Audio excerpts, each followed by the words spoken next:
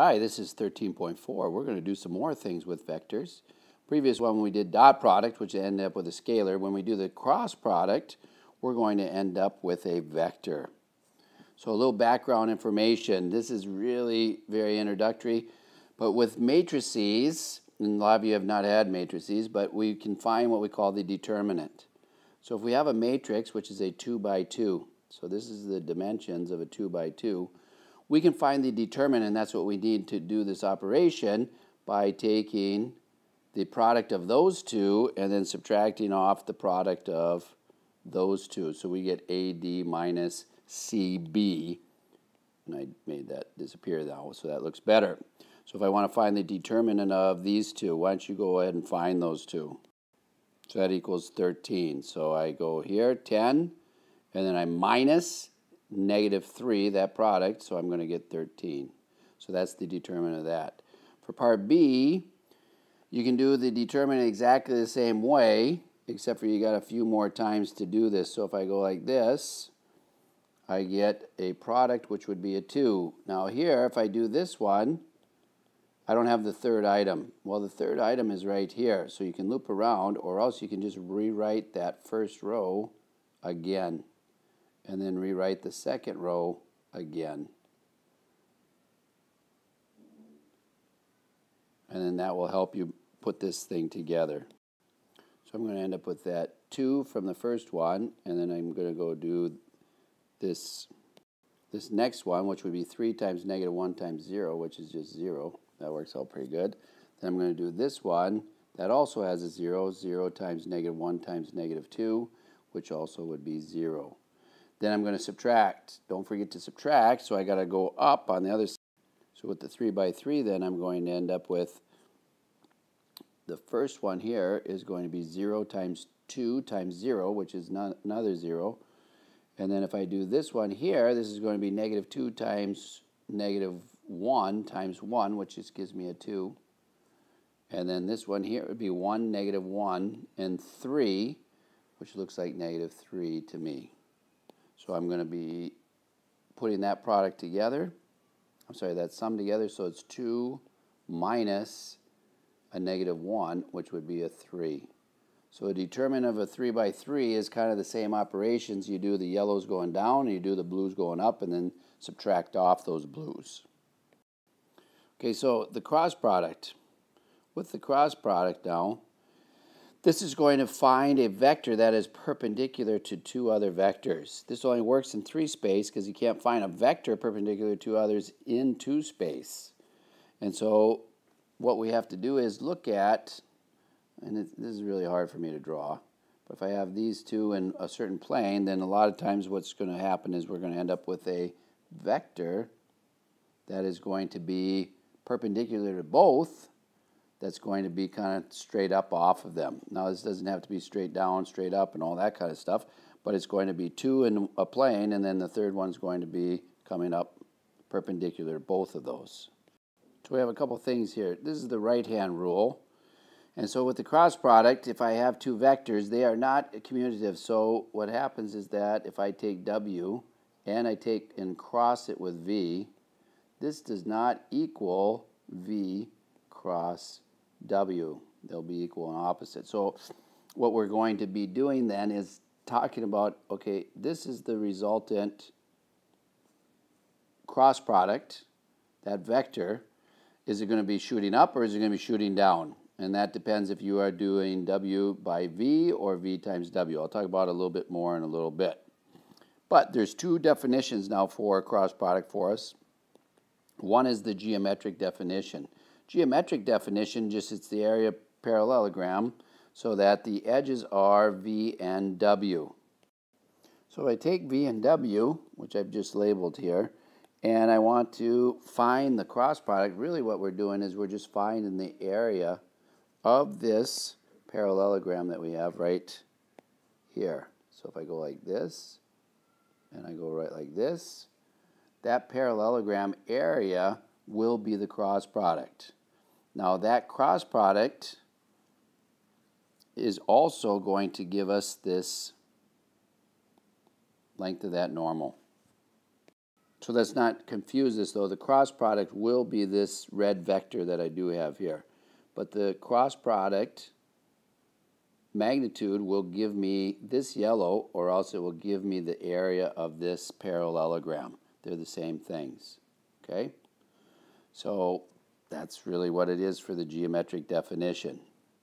You do need the angle in between those two vectors and then that will help us with the sine of theta. The algebraic definition deals with now this determinant that we just talked about for matrices. And so with this, we want to find, well, with our vectors, we're just going to set this up and we're going to multiply it out.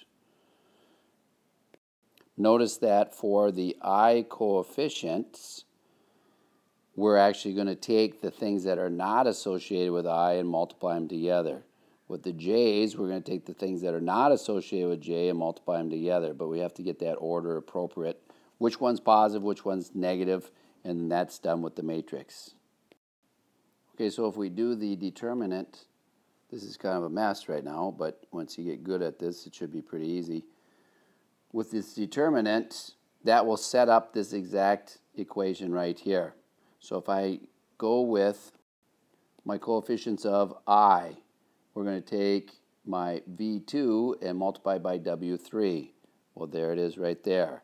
Then we're going to subtract off V3 W2. Well, with this blue that I got going around here,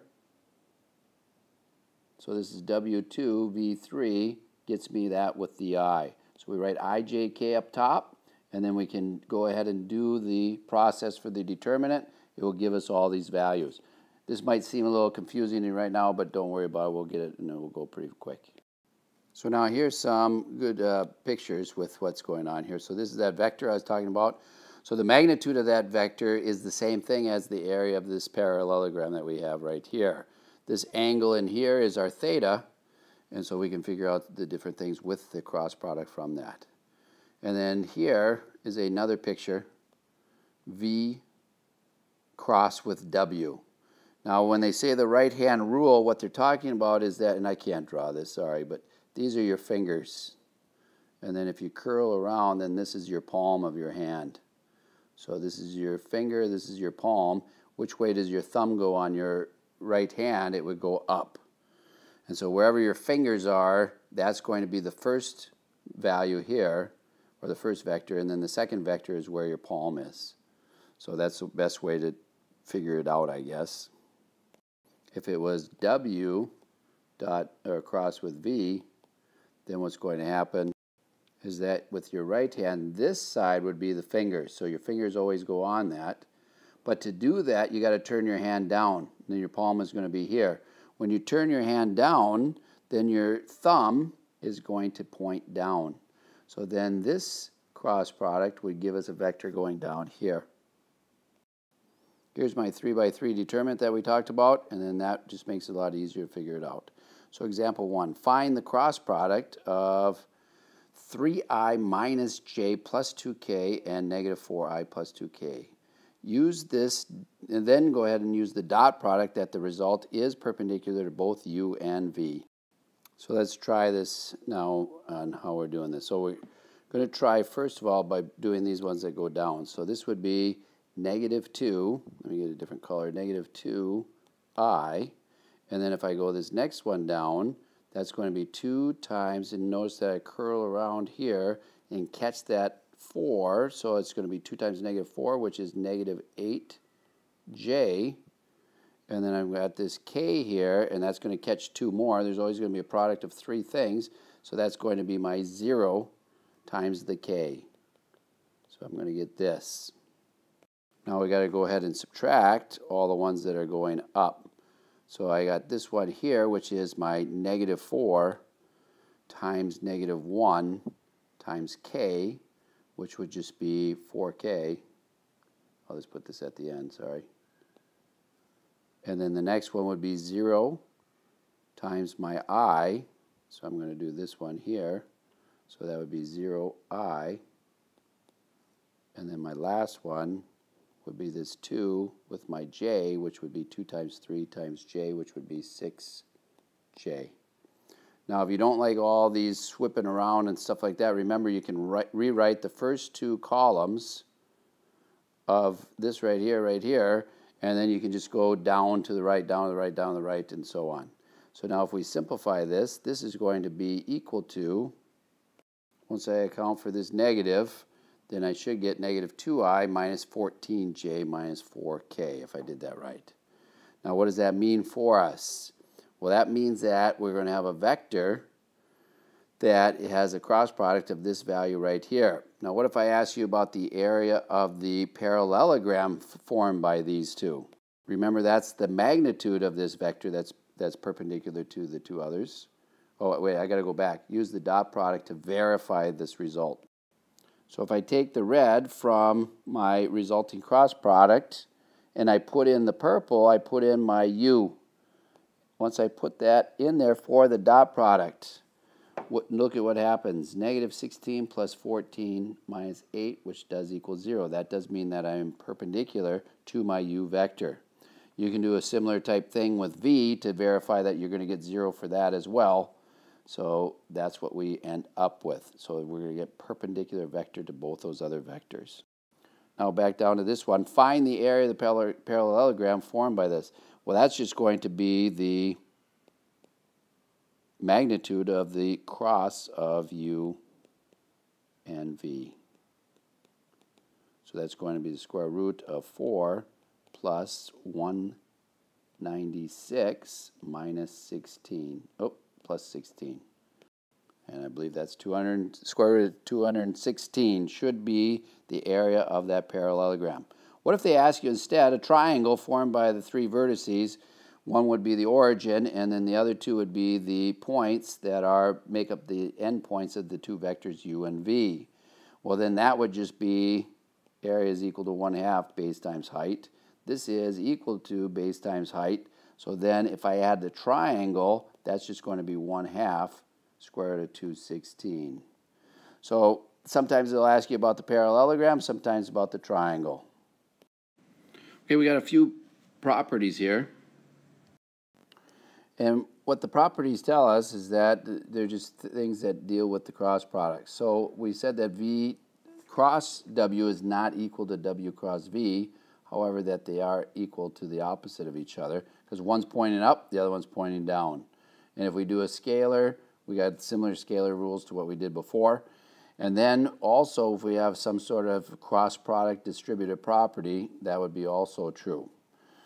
Now, if we look at uh, one last example, one last example here is a new way to write the equation of a plane given three points in the plane. If you remember, we did this earlier in the chapter 12, but now it's going to be using vectors. So let's find the displacement before, well, we want to write the equation of the plane that contains these points. So we want to find the displacement between two sets of those vectors. So I did PQ, now I'll do RQ, so then it's going to be 4 minus negative 2, which would be 6. I'm going backwards here, sorry. 6 minus negative 1 is 7, and then 3, uh, I'm sorry, 2 minus 3 is negative 1. So those are the displacement vectors that we do have. Then we want to find a normal vector to the plane. So if this is my PQ and my PR in the plane, then the normal is going to be perpendicular. I wanted to make that red, sorry. It's going to be perpendicular to both of those. So I'm going to use the cross product. So I'm going to take my PQ and I'm going to cross it with my QR. So I took my PQ and my QR, put it in the determinant form, and then went ahead and found out what the cross product was. So when I cross it, I get this right here. So that is this vector right here, right? And so with that, now I can write the equation of my plane that contains this P, Q, and R thing, though. That's what I want. And so with that, I just use the previous rule that we talked about. So here's my normal, and then I can take either one of these and use them to create the equation of my line. So I'm going to take my 4 and multiply it, and then I'm going to take my 10 and multiply it, and then my 11, multiply it, and that's equal to 0 because I'm doing the product of two perpendicular vectors, and they're going to be equal to 0. And then I plug in my x minus x naught. So I'm going to use this one here. So this would be 2. This would be y minus negative 3, so y plus 3, and then z plus 2. So then there's my equation of my line. Plane, plane, not line. So in some respects, we work around the plane to get the perpendicular to the plane, and then that makes it easy to write this equation to sort it out. So this is some sort of normal to the plane. And then a couple last things here. We have the area of the parallelogram with edges. Uh, and so it's edges V and W. And so that area is just the magnitude of the cross product. And then they tell you what the cross product is. And then there is the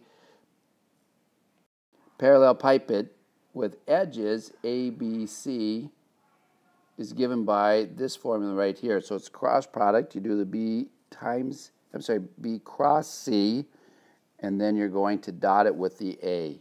And it's going to give you a value, which is a scalar. Or you could do the absolute value of the determinant figured out by this. I'm going to let you try that and work that one out. All right, thanks for listening. I hope you have a great day.